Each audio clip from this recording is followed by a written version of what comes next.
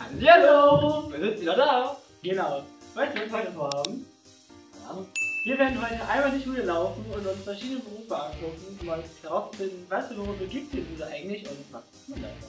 Das hört sich richtig, richtig cool an. Ja, und bevor wir das machen, müssen wir uns wieder aufwärmen. Weißt du auch womit? Jo. Natürlich, was denn sonst? Los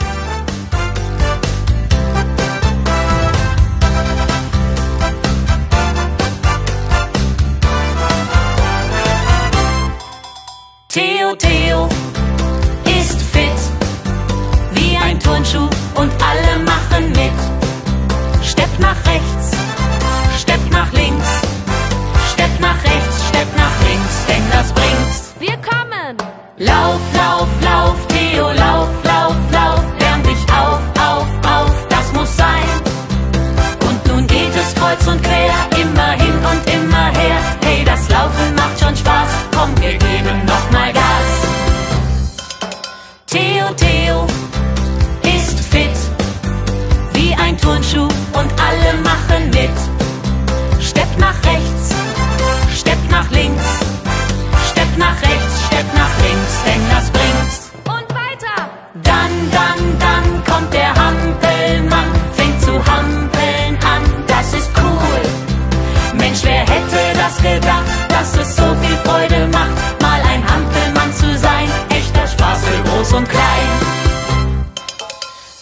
Theo, ist fit wie ein Turnschuh und alle machen mit.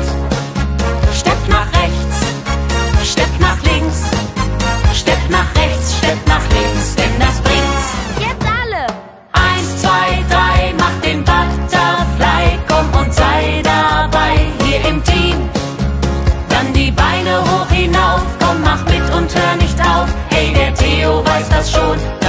Spaß und Kondition.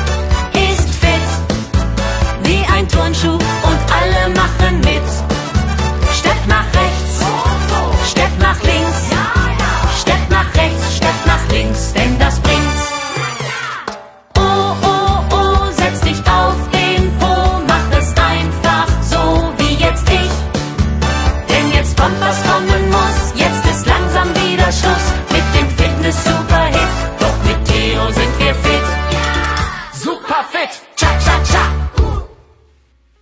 So, wir sind jetzt warm. Und ja, lass uns doch mal nach Bude laufen. Ja, wir sind schon Bude. Wir laufen einfach los. Ja. Los geht's. So, wir sind jetzt in Bude angekommen und stehen vor einem großen Haus. Genau. Weißt du, was das für ein Haus ist? Das sieht ziemlich neu aus. Mhm. einen Schriftzug dran. Genau, was da drauf steht? Polizei. Also wir sind bei der Polizei angelangt. Genau, die Polizei ist unser Freund und unser Helfer und hat natürlich ganz viele verschiedene Aufgaben, die sie machen. Zum Beispiel müssen die Verbrecher jagen. Und wisst ihr, was dafür ganz wichtig ist? Ausdauer. Das heißt, Polizisten müssen ganz oft ihre Ausdauer trainieren. Und das wollen wir jetzt auch mit euch machen. Ja, weil wenn die Verbrecher weglaufen, muss man ja irgendwie hinterherlaufen können. Genau. Und deswegen haben wir uns überlegt, laufen wir auch mit. Ja, dann machen wir das. Einfach fangen wir erstmal auf der Stelle an. Ja. Ja. Langsam anfangen. So, können wir auch mal Kreis ein bisschen.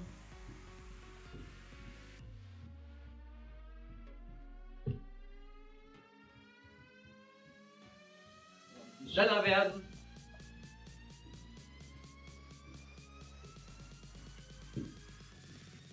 Sag mal, Richtungswechsel.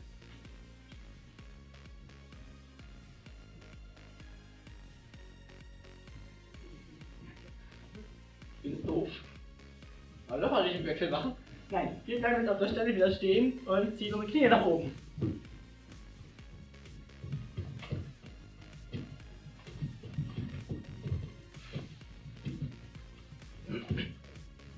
Reicht das auch wieder?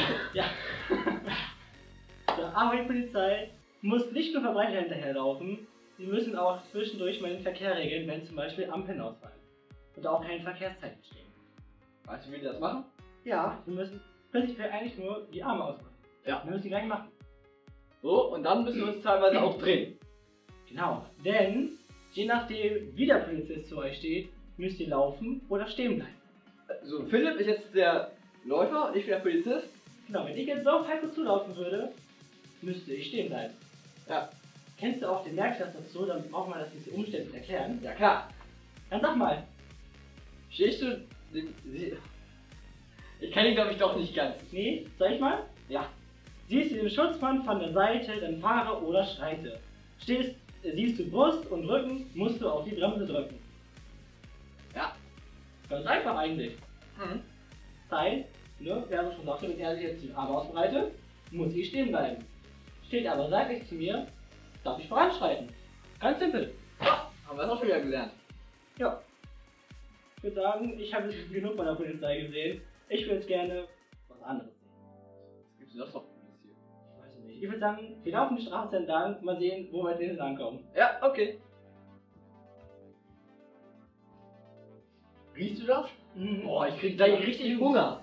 Ja, ich auch. Wir riechen da richtig leckeren, knackigen, frisch gebackenen Brötchen. Und Croissants und Zimtstecken und was weiß ich noch alles. Wo sind wir denn hier? Ich glaube, wir sind bei der Bäckerei. Klar sind wir bei der Bäckerei. Weißt du, was man an der Bäckerei macht? Backen. Natürlich, was denn sonst? Die Frage ist, was wollen wir backen? Ein Brötchen backen oder ein Brot oder eine Torte. Ich würde sagen, wir fangen mit Brötchen an. Okay. Eigentlich jeder. Ich kenne keinen Mensch, der kein Brötchen isst. Ja, gibt es aber bestimmt ein paar komische Leute, die keine Brötchen essen. Oder die andere Frage. Das geht schon auch. Natürlich, bevor wir anfangen, müssen wir natürlich auch unsere Schürze umbinden. Ja, dann unsere Schürze mit und binden sie. So, Sind wir auch schon gerüstet? genau. Und als nächstes müssen wir den Text zubereiten. Weißt du, was wir dafür als erstes benötigen? Schlüssel? Ja, auch. Ich meine, als Zutaten. Mehl natürlich. Natürlich. Davon hat man in der Bäckerei ganz schön viel. Aber nicht wie ihr vielleicht von zu Hause kennt, diese kleinen 1 Kilo Packung. In der Bäckerei haben die solche riesen Mehlsäcke. Riesig. Ganz, ganz groß. Die müssen wir jetzt ertragen. Das Äh, ist auch ganz schön schwer. Mm, Am besten, wir machen das zu zweit, weil ich glaube, alleine schaffe ich das gar nicht. Ja. Weil da vorne stehen die Mehlsäcke. Können uns immer welche holen. So. Boah, sind die schwer. Ich habe noch mehr Mehlsäcke. Wir brauchen aber zum Glück nicht so viel. Wir sind zwei Leute, diese Brötchen können wir gar nicht essen. Aber wir brauchen noch Wasser. Wasser. Das ist für uns ganz einfach aus der Leitung. Nehmen Ja. wir unseren Eimer, halten den unter den Wasserhahn und lassen ihn einfach voll laufen. Das ist halt voll. Ja, das ist auch schwer. Warum ist die Brötchen eigentlich so leicht, wenn wir ganz viele schwere Zutaten rein müssen? Ich glaube, das ist der Hefe. Wenn die Brötchen aufgehen, wenn die ganz luftig sind, Luft dem Teig. So. Mein Eimer ist voll. hinstellen. Als nächstes brauchen wir, mü- müssen wir noch Hefe holen und Salz. Und danach können wir auch schon anfangen. Dann hol ich die Hefe und das Salz. Ja. So. Ich habe ganz viel Hefe mitgebracht. Und nicht das Salz. Für Ja. Salz brauchen wir gar nicht so viel, weil es schmeckt nicht versalzen. Ja. Wollen wir schon mal anfangen zu backen? Genau, dann können wir jetzt Mehl, unseren Mehlsack nehmen und unser Mehl in unsere Schüssel. Ah, So, ich Und habe eine große eine kleine Kelle. Ich habe mal Schüssel in den Mehlsack gehalten, jetzt ist voll. Also jetzt auch. Als nächstes müssen wir unseren Eimer nehmen ja, und das Wasser drauf kippen. So. Dann brauchen wir Hefe. Ja, natürlich. Die Hefe müssen wir noch einmal auspacken. Ja, und kippen das auch nicht. So, jetzt Als nächstes eine Prise sein. Weil Ja. sonst versalzt du das Ganze. ganz wenig. Einfach zwei Finger voll. So. Als nächstes müssen wir den Teig natürlich kneten. Weil das so Ein- viel großer Teig ist. Genau, das heißt, ich nehme jetzt meine Schüssel, nehme meinen Schneebesen und rühre den Teig einfach um. So, ich glaube, ich gehe auch nochmal mit der Hand. Mit der Hand. Ja, mit der Hand. Ich nehme den Teig aus der Schüssel und knete ihn einfach noch ein bisschen. Ja. Darf man aber auch nicht zu lange tun, weil sonst kneten wir die Hefe kaputt und die Brötchen gehen nicht mehr auf. Das ist ja schade. Mhm. So, das reicht. So. machen. Dann müssen wir das natürlich ne, vereinzelt auf Bleche tun und dann den, den Backofen. Wir ein paar Bleche. Wir auch noch ein paar Bleche. So, jetzt haben wir hier ganz, ganz viele Bleche. Machen den Teig auf die Bleche, teilen ihn ein bisschen, haben Brötchen. Doch bevor wir das jetzt in den Ofen packen, das ist schon vorgeheizt, müssen wir den Ofenhandschuhe sonst verbrennen wir uns. Ganz Klar. wichtig. Dann nehmen wir unsere Ofenhandschuhe, Ziehen ihn an. Links, rechts. nehmen unsere Bleche, schieben die in den Ofen, das wollen wir einblechen.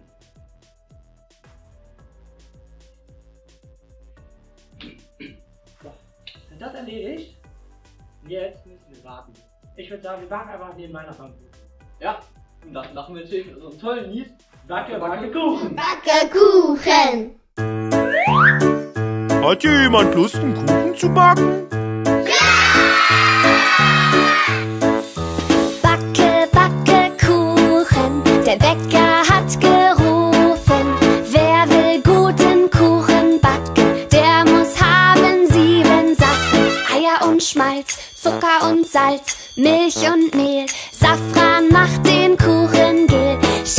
sheep, and orphan,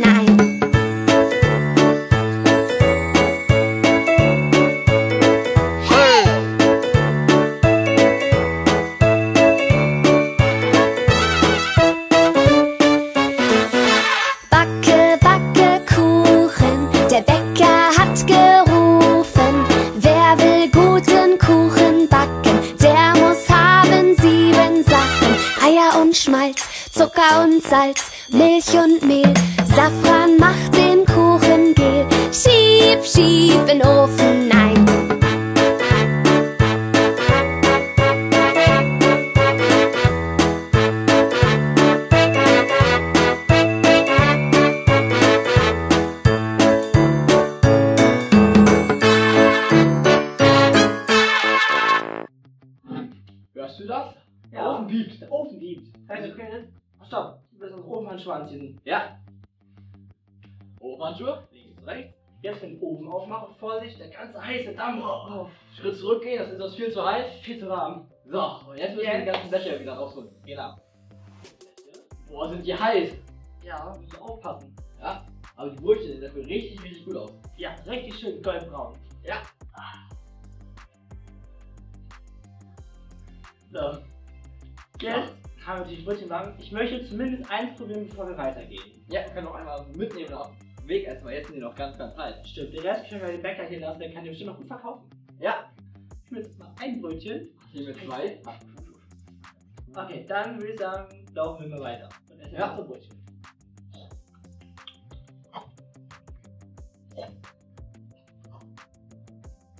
Guck mal da, Supermarkt. Oh, super. Ich hab schon wieder Hunger. Ich glaube, wir müssen noch einkaufen, oder? Ja. weißt du, was die Leute im Supermarkt alles machen müssen? Meinst du die Leute, die da einkaufen gehen oder die da arbeiten? Natürlich diese Arbeit. Wir gucken uns auf die Berufe an. Die müssen natürlich wieder die ganzen Regale auffüllen, weil die Leute die ja immer leer kaufen. Genau. Gerade in der jetzigen Zeit, wo ja ganz viel Klopapier gekauft wird, die müssen ganz viel Klopapier nachräumen. Ja. Da wollen wir denen wahrscheinlich mal ein bisschen helfen, ne? Genau. Guck mal, da hinten stehen sogar schon ein paar Wagen mit ganz viel Ware drauf. Sogar mit ganz viel Klopapier, mit ganz viel Nudeln. Die müssen nicht einfach schnell die Regale räumen. Ja, dann holen wir die Wagen mal. Boah, sind die groß und schwer. Ja. Lass uns mal anfangen, die Sachen in die Regale zu räumen. So, da sind ein paar Nudeln, die müssen hier hin. In Klopapier hin. Noch mehr Nudeln. Dann haben wir noch ein paar Ravioli. Die dürfen natürlich da hin. Dreilagiges Klopapier, vierlagiges. Nur mit einem Klopapier. Essen ist viel wichtiger. Ja, Klopapier brauchen aber wahrscheinlich auch ganz viele Leute, sonst wird es ja nicht so oft gekauft, ne? Ja, ich finde es ja ein bisschen komisch, dass so viele Leute Klopapier kaufen. Bisschen, Da haben wir noch ein paar Erbsen. Ein paar Ich Möhrchen. habe noch Zeberrollen. Du hast komische Sachen zu tun. So, mein Wagen ist jetzt leer. Ja, ich habe noch ein bisschen. Hab noch frisches Obst. Dahin. Frisches Gemüse. Da. So, bin jetzt auffällig. Natürlich gibt es auch ganz viele Kartons, die im Supermarkt bekommen, wenn die neue Ware bekommen. Und die haben eben ausgebracht, die stehen aber irgendwo rum. Mhm. Das heißt, die müssen jetzt wieder weg. Die sind das Glück nicht so schwer, aber dafür ganz schön groß. Ja, schwer sind die. Aber wenn du so viele tragen musst, dann ist irgendwas echt unpraktisch. Ja. Du musst einfach die ganzen Kartons wieder zusammensuchen. einfach mal alle so zusammenstecken. Ich bin schon voll beladen, wo soll ich da jetzt hin? Egal. Ja, ich. wo, müssen wir hin? Da nach rechts. Da rechts? Da rechts. Okay, dann das rechts. Das rechts. Äh.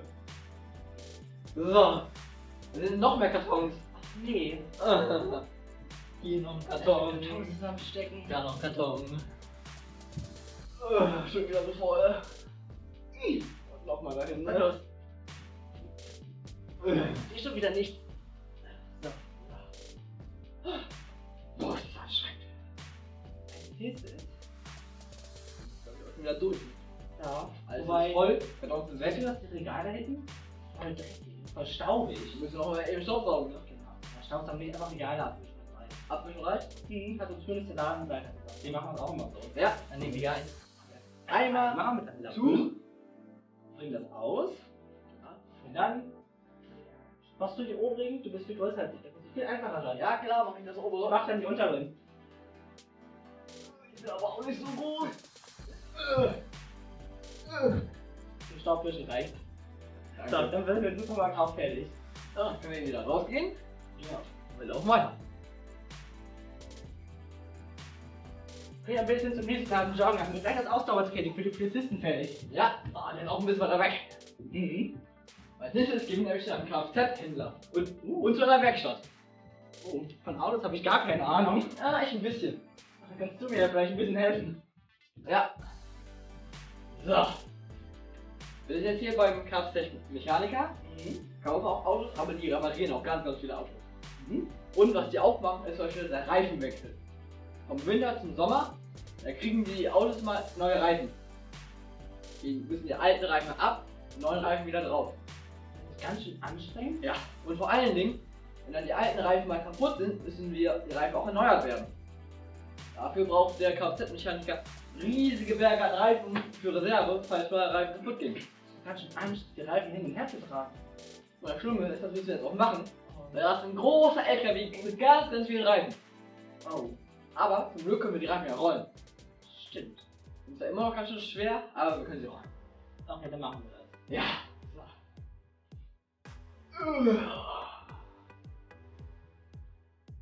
So, hier unser Lager. Zurücklaufen. Reifen holen und rollen.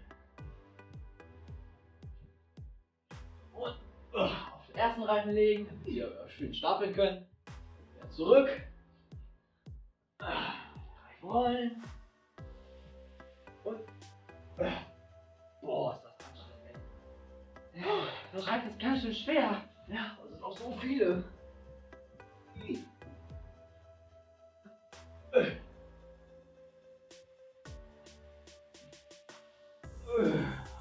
ist jetzt mein letzter Reifen. Ja, meine auch. Puh. Das waren genug Reifen, zwei Autos. Wollen wir weiterlaufen? Ich will nicht. Ich glaube noch, noch so ein paar Stunden von dieser Arbeit und ich fall um. Okay. Nach dem als nächstes gehen wir. Ja, Ja, dann nach dem Reifenstellen ganz schön kaputt. Guck mal da, das ist die Feuerwehr. Oh, stimmt, die Feuerwehr. Auch ein ganz toller Beruf. Und Ja, auch ganz, ganz wichtig, ja. Genau. Die Feuerwehr hat ja ganz viele Aufgaben, die wir werden brauchen. Mhm. Zum Beispiel, wenn irgendwas anfängt zu brennen, müssen die ausrücken und das Feuer löschen. Das ist ja klar. Aber auch wenn zum Beispiel eure Katze oben auf dem Baum fest sitzt, könnt ihr auch die Feuerwehr rufen. Und dann holt die Feuerwehr eure Katze wieder runter. Genau. Außerdem müssen auch Straßen und Schienen, Schienen frei machen, zum Beispiel Bäume beim Sturm. Ja. Und wenn eine Sturmflut ist, müssen wir auch Landsäcke schleppen und sowas mit dem THW zusammen. Oh, weißt du was? Mir fällt ganz tolles Lied ein, was ist Feuerwehr. Ganz passend. Ja, dann machen wir das doch dann. Okay, los geht's. Achtung! Platz da! Die Feuerwehr kommt!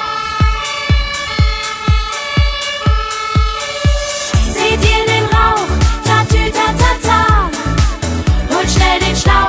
Tatü,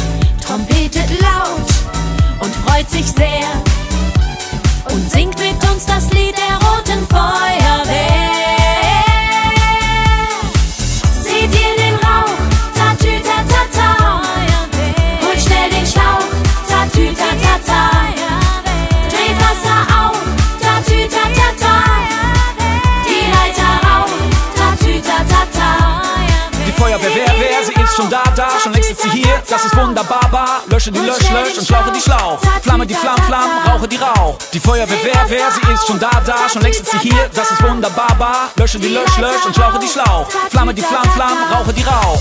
Seht ihr den Rauch? Tatü, tatata. Holt schnell den Schlauch. Tatü, tatata. Dreht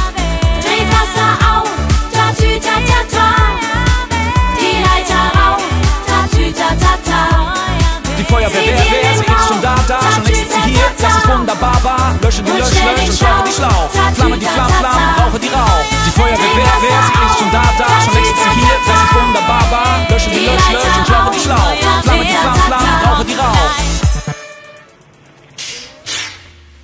So, das Wir war wissen jetzt auch genau, was die Feuerwehr macht. Genau, und ich finde, das war ein ganz schönes Lied. Das müssen wir immer noch mal machen. Ja. Aber jetzt bin ich ganz schön kaputt. Ja. Feuerwehr sein, Feuerwehrmann sein anstrengend. Ich würde sagen, wir gehen jetzt mal nach Hause und waschen uns einmal komplett, weil wir ja den ganzen Tag draußen waren. Ja. Also gehen wir nach Hause und sehen uns dann gleich. ja. Tschüss. Tschüss, bis gleich. Hände waschen, Hände waschen muss ein jedes Kind. Hände waschen, Hände waschen, bis sie sauber sind. Nun sind die Hände sauber, ja doch leider ist kein Handtuch da. Drum müssen wir sie schütteln, schütteln, schütteln, schütteln. Drum müssen wir sie schütteln, bis dass sie trocken sind. Und jetzt die Haare. Haare waschen, Haare waschen muss ein jedes Kind. Haare waschen, Haare waschen, bis sie sauber sind. Nun sind die Haare sauber, ja, doch leider ist kein Handtuch da. Was machen wir da? Drum müssen wir sie schütteln, schütteln, schütteln, schütteln. Drum müssen wir sie schütteln, bis dass sie trocken sind. Und die Füße? Füße waschen, Füße waschen muss ein jedes Kind. Füße waschen, Füße waschen, bis sie sauber sind. Nun sind die Füße sauber, ja, doch leider ist kein Handtuch da. Und nun? Drum müssen wir sie schütteln, schütteln, schütteln, schütteln. Drum müssen wir sie schütteln, bis dass sie trocken sind. Und auch den Popo. Popo waschen, Popo waschen muss ein jedes Kind. Popo waschen, Popo waschen, bis er sauber ist. Nun ist der Popo sauber, ja, doch leider ist kein Handtuch da. Aber ich weiß was. Drum müssen wir ihn schütteln, schütteln, schütteln, schütteln. Drum müssen wir ihn schütteln, bis dass er trocken ist. So, wir sind wieder sauber und haben ganz viel Sport gemacht.